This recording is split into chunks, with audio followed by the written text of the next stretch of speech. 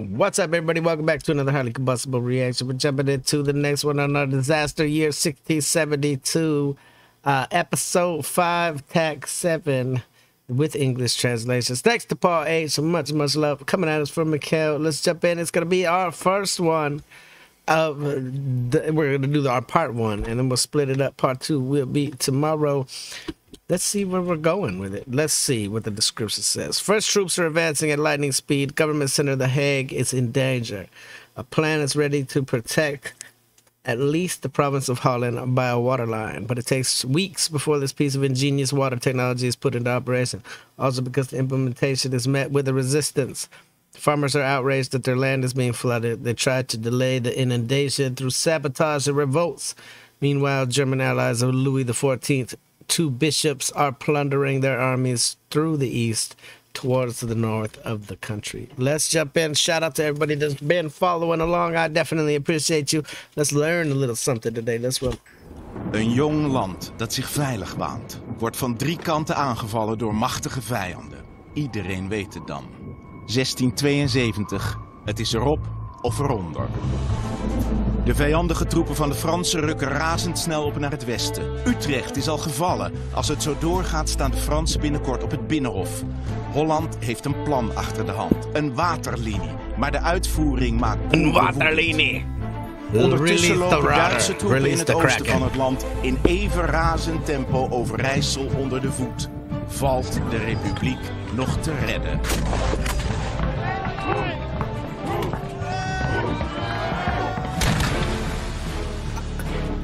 That right there, I'm telling you, this these kind of let's march at each other wars. It, that's not someone I want to be a part of. I'll be the first son bitch in a in a hay bale. For real, I'm hiding. I'm now I'm shooting at you from the woods. This let's line up and march towards each other towards our doom. It's a crazy way of war. Like I would have never imagined that somebody would have been like, "This is a great idea. You line up over there. We're gonna line up over here. We're gonna shoot at each other." That sounds terrible.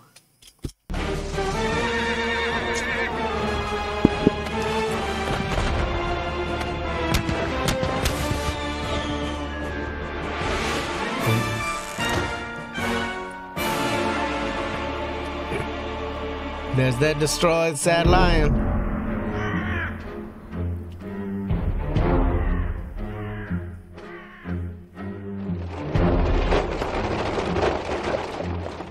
It's we're there. In de vroege zomer van 1672 gaan de Franse legers als een stormram door Nederland. De onderbemande Nederlandse troepen van het staatse leger kunnen nauwelijks weerstand bieden tegen de overmacht. Een paar weken na de invasie is Utrecht gevallen, Nijmegen. De paniek is compleet.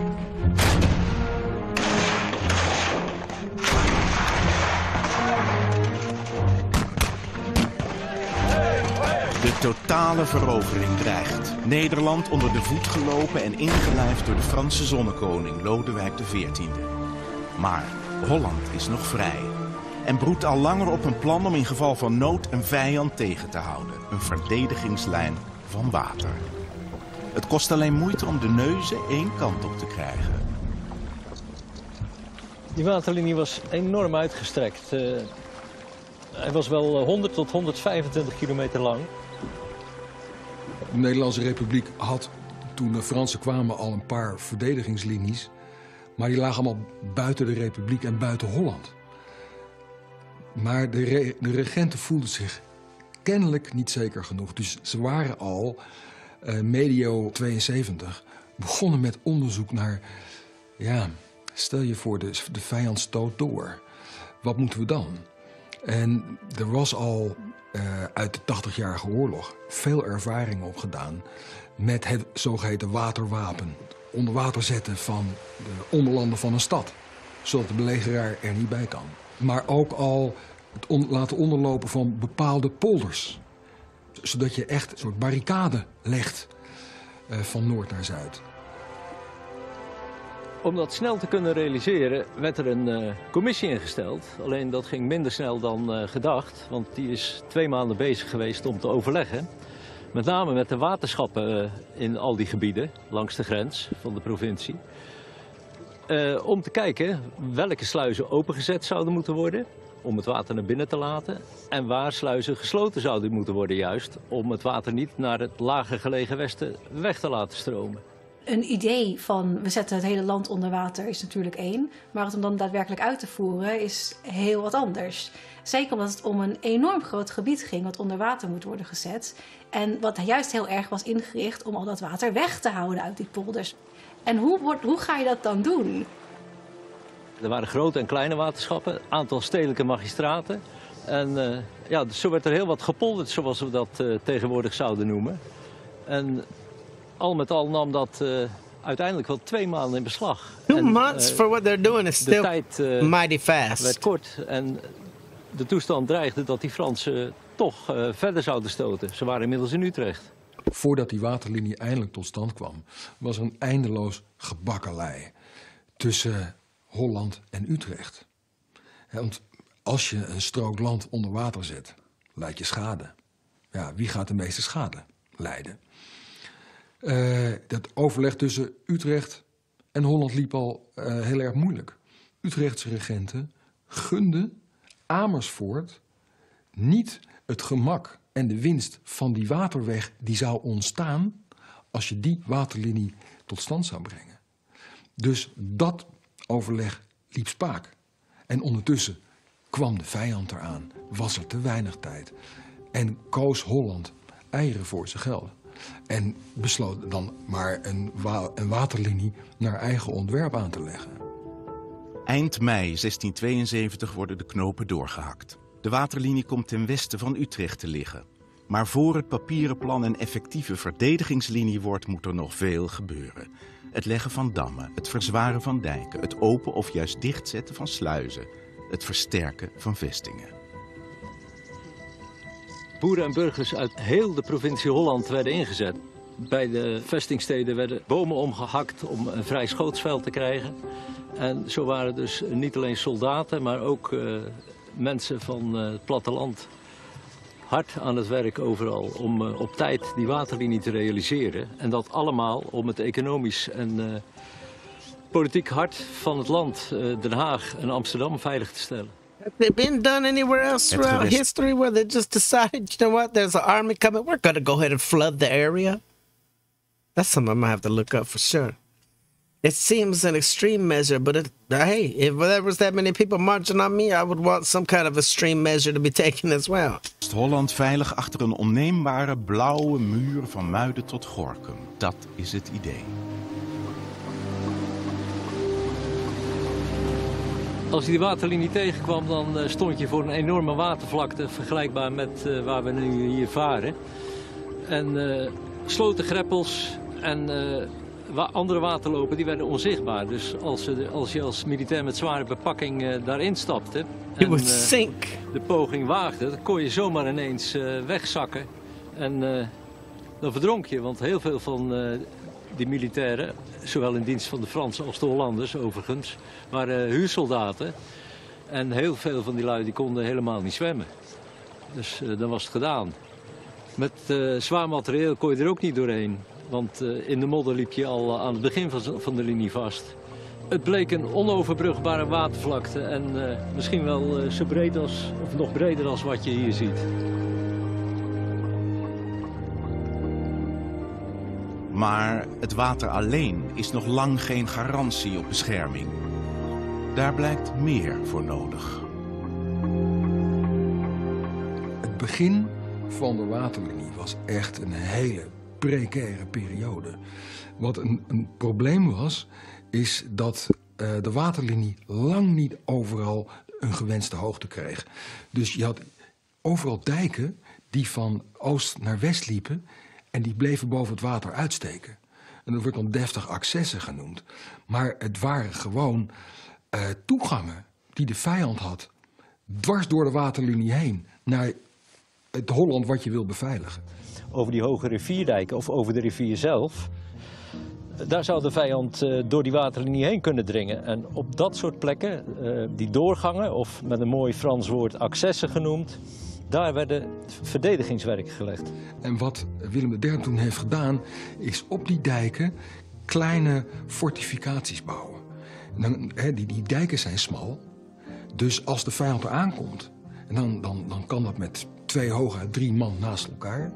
Zet je daar een goede fortificatie neer, dan is het redelijk eenvoudig om met wat geschut naar de boel tegen te houden. En een beetje, laten we zeggen, improviserenderwijs ontstonden dus in die waterlinie her en der vestingen, sterkten. De ene beter dan de andere.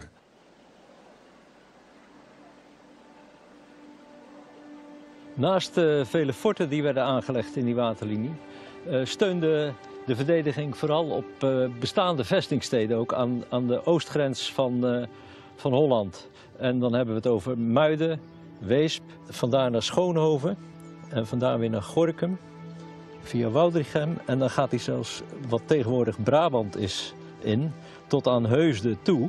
En Geertruidenberg, dat waren destijds Hollandse vestingsteden. Maar ook een waterlinie is zo sterk als de zwakste schakel. De vestingsteden worden versterkt, de fortificaties aangelegd, het water sijpelt de polders in en dan ontstaat er toch een probleem. Boze boeren die hun grond niet onder water willen hebben, dreigen te saboteren.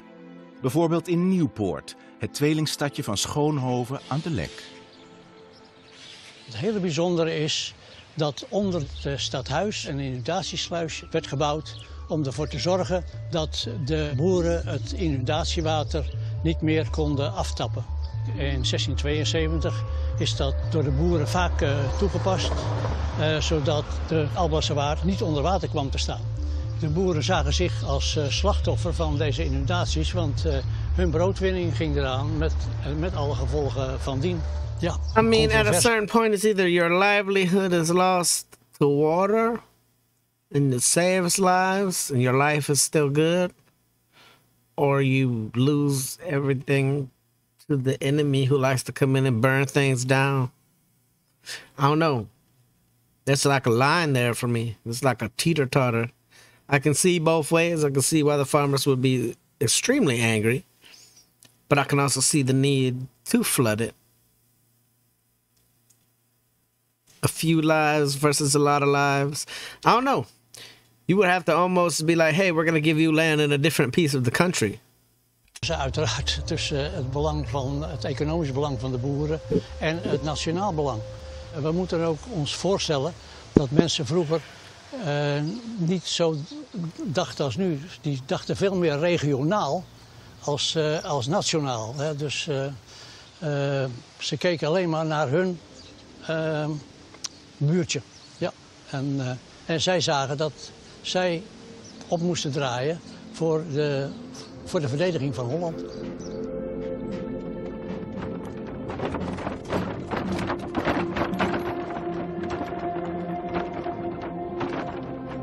Nu kwam de vijand eraan en moest er worden, worden doorgezet en doorgepakt.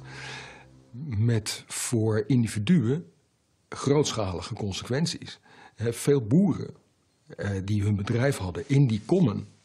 Die, die zagen hun, hun veestapel natuurlijk verzuipen. Dat waren hun polders, hun akkers, daar hadden ze hun vee grazen. En dat moest dan onder water worden gestoken. En zeker als dat met zout zeewater gebeurt van de Zuiderzee, die akkers zijn dan waardeloos. Dus daar was ontzettend veel weerstand tegen. Ja, en mensen wisten wel van ja, de Fransen komen eraan. Maar tegelijkertijd, als jouw hele bedrijf dan in het letterlijk in het water loopt, ja, dan, dan wil je dat niet doen. Dus er kwam heel erg veel boerenverzet. En dat boerenverzet, eh, dat, nou, dat, dat, dat werd af en toe ook gewelddadig. Op de lekdek bij Schoonhoven komen tegen de 500 woedende boeren uit de dorpen samen. Stampend met hun klompen, zwaaiend met hun hooivorken en fakkels. Ze dreigen Schoonhoven met de grond gelijk te maken. De boeren zagen zich als uh, slachtoffer. Ze dachten van deze inundaties zijn gewoon uh, zinloos. En uh, ja, de boeren die kwamen onmiddellijk bijeen. Die kwamen via de dijk op Schoonhoven af. Die dreigden zelfs om de stad in te trekken en de stad in, in brand te steken. Er moest een dreigement van Willem III aan te pas komen om ervoor te zorgen dat de boeren eh, inbonden, zodat de inundatie tenslotte toch tot stand kwam. Als we ons omdraaien, dan zien we daar eh, de dijk eh, aan de zuidkant van de rivier. En daar werd de dijk ook doorgestoken. Het is bekend dat die bij Langerak ook werd doorgestoken om de Albasse Waard onder water te zetten. En je ziet hier ook dat de dijk vlak aan de rivier is.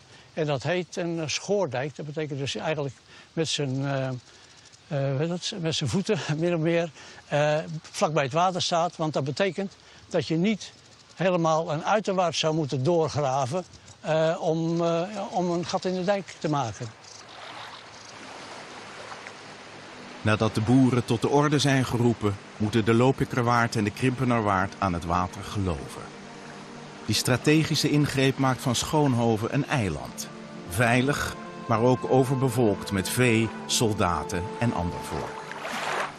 Een bijkomend effect was natuurlijk door die grote overbevolking. Overigens ook nog een keer dat er veel vluchtelingen bij kwamen in verband met de inundaties. Ja, do some with the displaced people. De dreiging van uh, de Fransen. Schoonhoven had uh, destijds 2500 inwoners en toen kwamen er ook nog eens een keer zo'n 2500 militairen bij hè? en 1600 paarden. Dan kun je wel voorstellen wat een uh, enorme chaos dat betekende in de stad. Dat betekent ook dat er op een gegeven moment besmettelijke ziektes zijn uh, uitgebroken. Plaatselijke gasthuis, die kon dat allemaal niet aan. En trouwens, uh, het gasthuis werd gefinancierd door uh, pachtopbrengsten van landerijen die ze in zijn bezit hadden. Nou, die landerijen stonden onder water, dus er kwam ook geen pachtopbrengsten binnen. Willem III daarop zorgde ervoor dat de Staten van Holland eindelijk door de bocht gingen om alsnog de gasthuizen van Gouda en Schoonhoven van subsidie te voorzien. Zo komt prins Willem III Schoonhoven te hulp. Eerst met het onder de duim houden van de boeren, dan met geld en troepen. Op die manier worden alle plaatsen langs de waterlinie omgebouwd tot een gevechtsklaar bastion. Onder supervisie van de prins als legerleider, maar ter plekke onder het bewind van plaatselijke commandanten.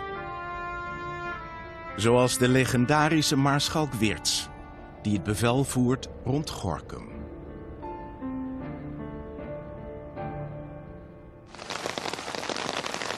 We staan hier bij de Dalemse sluis, even ten oosten van Gorkum. We day to do it, een belangrijke rol in 1672.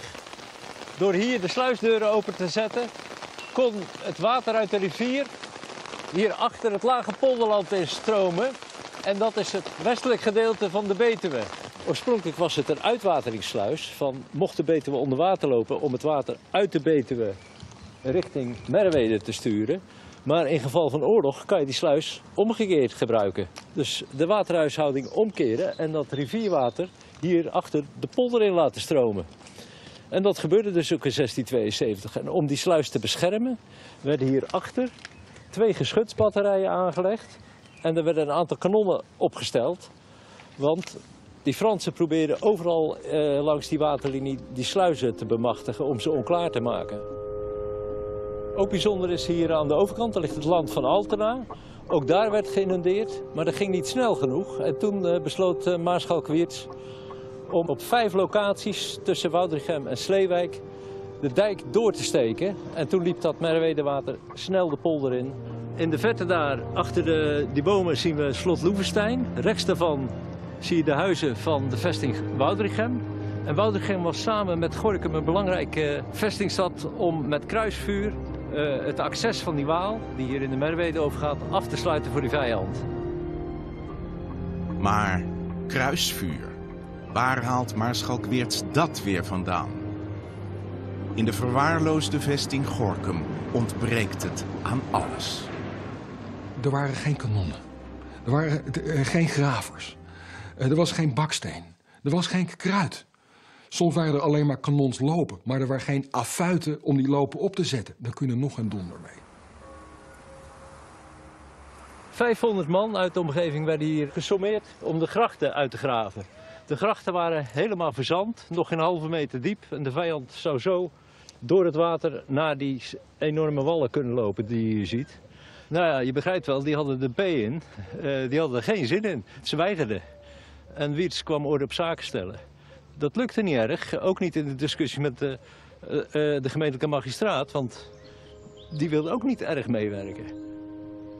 Uiteindelijk uh, was het prins Willem III die Wiets te hulp schoot door het uitvaardigen van een plakkaat waarin met de doodstraf werd gedreigd bij tegenwerking tegen de bevelen van de militairen. You gotta get hard on them, good lord. Uiteindelijk is het toch nog goed gekomen hier aan de grachten. Met watertechnisch vernuft, fysieke inspanning, soms met geweld en dreigementen tegen de eigen bevolking komt de waterlinie dus tot stand. Een waterschild waarachter de republiek zichzelf opnieuw kan uitvinden nu Holland veilig blijft. Maar aan de oostkant van de waterlinie laait de oorlog door. Wat de waterlinie deed, was niet alleen Holland beschermen tegen de aanvaller. Als je nog iets achteruit gaat, een stap terug doet... dan zie je dat de waterlinie de republiek op dat moment in twee helften snijdt. Ene vrije helft, ander bezet. En de bezette helft, uh, die heeft het nakijken. Die wordt uh, voor een groot deel overheerst en uitgeperst en geterroriseerd door de Fransen. En voor de andere helft door de, uh, door de soldatesca van Münster, de bisschop van Münster. De katholieke prins-bisschop van Münster, Bernard van Galen, meent aanspraak te kunnen maken op heel Overijssel, omdat die provincie ooit deel uitmaakte van zijn bisdom. In het rampjaar sluit hij samen met de bisschop van Keulen een aanvalsakkoord met Lodewijk XIV. En als die aanval in juni 1672 losbarst, dendert hij rechtstreeks Overijssel binnen.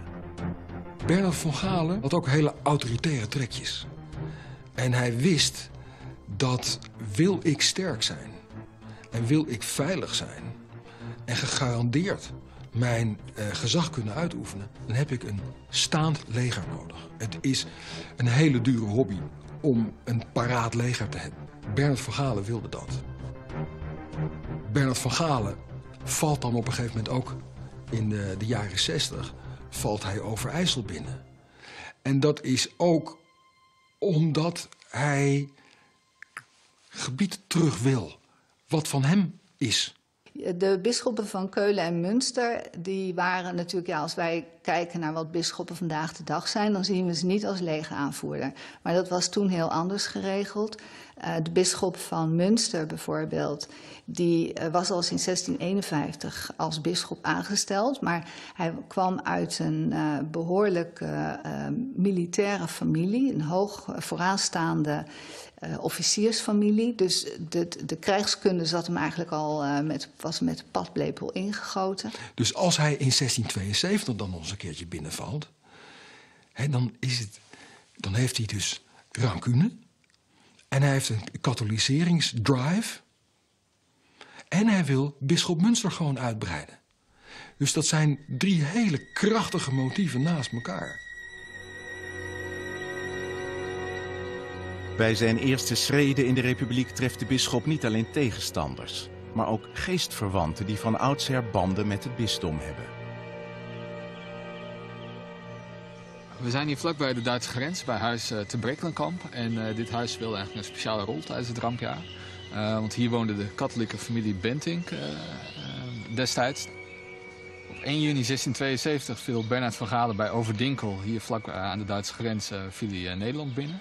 Hij trok toen via Gelderland op naar Deventer en Zwolle en Kampen. En Gerard Adolf Benting die, was ook, die trok samen met hem op en die was ook betrokken bij de overgave van die steden. Als onderhandelaar namens de bisschop van Münster. Gerard Adolf van Benting, heer van Brekkelenkamp, was een hele belangrijke bondgenoot voor de bisschop van Münster. Hij weet gewicht in de schaal te leggen bij tal van mensen. Hij weet ook de goede contacten te vinden.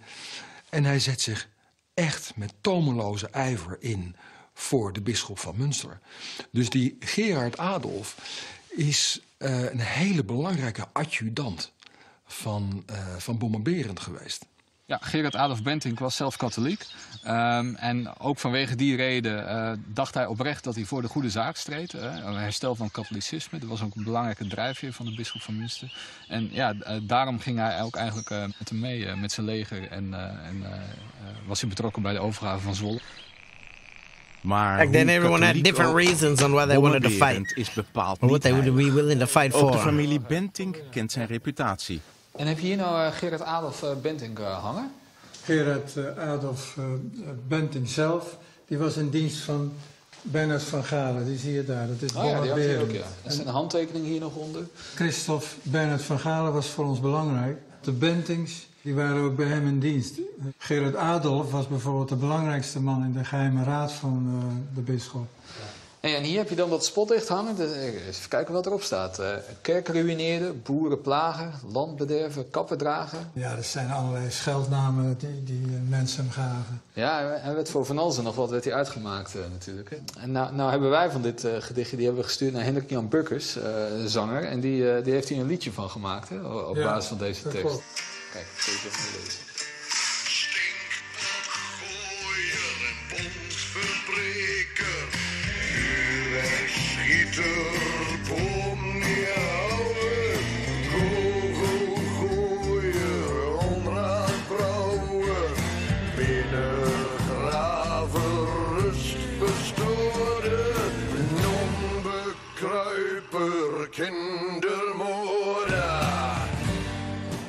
Bernard van Hell Gaal of a was song. progressief, ronduit vernieuwend eh, in de inzet van eh, geschut. Speciale rookbommen eh, met geteerd touw en een, een, een rokende inhoud. Als je die afschoot, eh, dan ver- veroorzaakte dat gewoon enorme chaos in de vesting waar je dat in deponeerde. De schrik die dat teweegbracht, men kende dat nog niet. Kokertjes waren daarin verwerkt en daar zat, zat buskruid in plus kogels. En op het moment, moment dat zo'n bom dan ging branden, dan werd dat buskruid natuurlijk heet en dan kwamen ook die kogels allemaal naar buiten. Behalve de moderne oorlogsvoering heeft bisschop Bommenberend ook de meer vertrouwde middelen om de bevolking te terroriseren. De bisschop van Münster hield er hele eh, traditionele financieringsmethoden van zijn leger op na. Namelijk plunder maar raak. Boerderijen werden overvallen, dorpen werden eh, afgeperst. En om het nog helemaal erg te maken, deden ze ook nog aan brandschattingen. En dat hield in dat ze een be- bepaald bedrag eisten van een eh, eigenaar van een huis of een boerderij. En als ze dat bedrag niet kregen, dan werd hun, eh, hun woning eh, platgebrand. Al schietend en plunderend maakt bisschop Bommenberend een voortvarende opmars door Overijssel. In een paar dagen verovert hij Oldenzaal, Enschede, Deventer. En dan staan zijn legers al voor de stadspoorten van Zwolle. Nou, hier achter ons zien we het stadhuis van Zwolle. Daar vond voor het lot van Zwolle in 1672 eh, wel een belangrijk overleg plaats. De bisschop van Münster die was op 1 juni 1672 Overijssel binnengevallen. Liep in een paar dagen heel Twente onder de voet en ging toen via Gelderland richting Deventer, wat een paar dagen werd belegerd en zich daarna overgaf. Eh, en toen eh, gingen de Münsterse troepen richting Zwolle. En eh, hier in dit stadhuis werd de Deventer burgemeester Bernard Lespierre werd hier ontvangen door het Zwolse stadsbestuur. En eh, ik kan jullie even laten zien waar dat was. Op dit schilderij zien we Zwolle eh, weergegeven zoals het eruit zag tijdens het rampjaar. Hier zien we nog de stadsmuren en eh, ja, de, de van de Sint-Michaelskerk en de Peperbuskerk. En eh, als we dan hiernaast eh, kijken, dan eh, gaan we hier de schepenzaal binnen. Dit is Right here's where we're gonna pause for today because I know we're going over. Uh, definitely a crazy time. Every single person out there had different thoughts on things. I could see, like I said, I could see two sides with the whole flooding thing. I could definitely see why the farmers would be pissed. What are they gonna have after everyone's saved? They're gonna have to start from scratch. They're gonna be refugees in some city.